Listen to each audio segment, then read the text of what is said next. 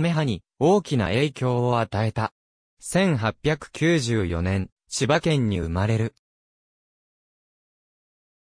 1905年4月16日、千葉県銚子町の利根川川口で、DH 総統から洗礼を受ける。二人の姉がホーリネスの聖書学院で学んでいた時に、中田茂春と会うが、彼には支持しなかった。堀内文一にも、大きな影響を受ける。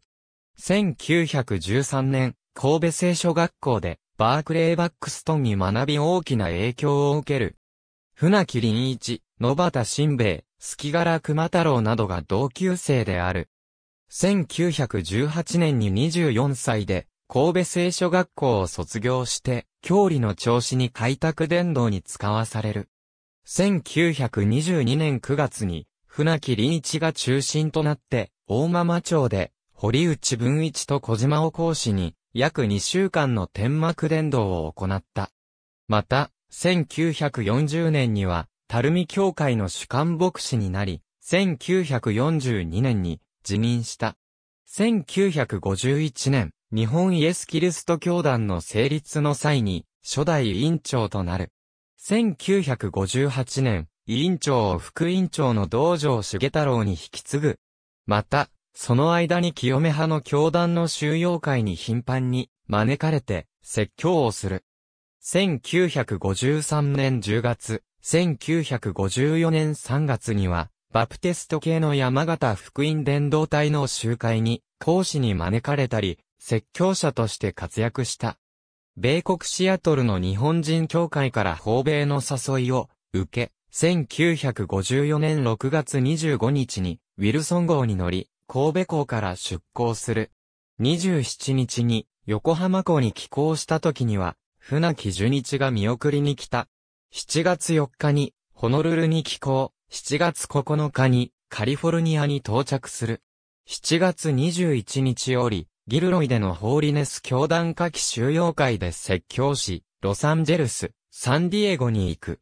そして、鉄道で大陸を横断し、デンバーとグリーンフィールドによる。シカゴに滞在中、ホイートン大学で留学中の船吉信たち学生と食事をする。10月14日、シアトルに到着し、サンロレンゾ・ホーリネス教会での創立25周年聖会の説教をする。11月28日に、空路で、プロジルのサンパウロに到着した。各地を巡回伝道した後、翌1955年4月17日、ロサンゼルスに戻る。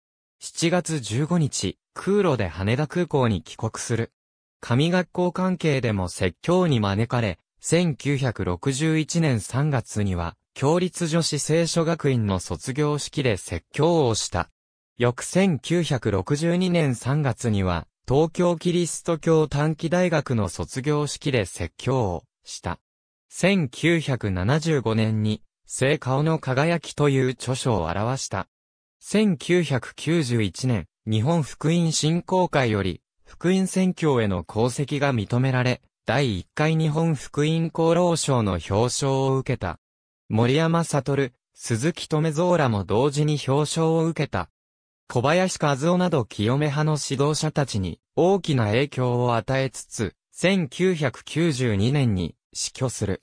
密葬にて葬儀が行われ、教え子であった小林和夫も立ち会う。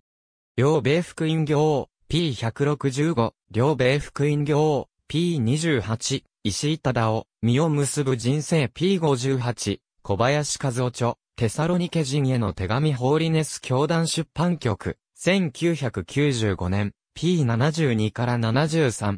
ありがとうございます。